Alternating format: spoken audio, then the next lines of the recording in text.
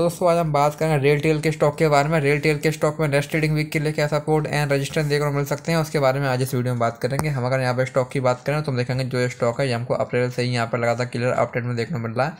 हमको यहाँ पर स्टॉक में लगातार हायर हाई हायर लो वाला पैटर्न यहाँ पर देखने को मिल रहा है। आज भी हमको यहाँ पर स्टॉक में three point eight nine percent की यहाँ पर तेज़ी देखने को मिल रही है। तो यहाँ से अभी हम स्टॉक में बात करें यहाँ से अगर स्टॉक में तेज़ी कंटिन्यू रहती है तो यहाँ से भी और तेज़ी कंडीशन में हमारे पास यहाँ पर स्टॉक में टू थर्टी का पहला यहाँ पर रजिस्टर देखने को मिलेगा।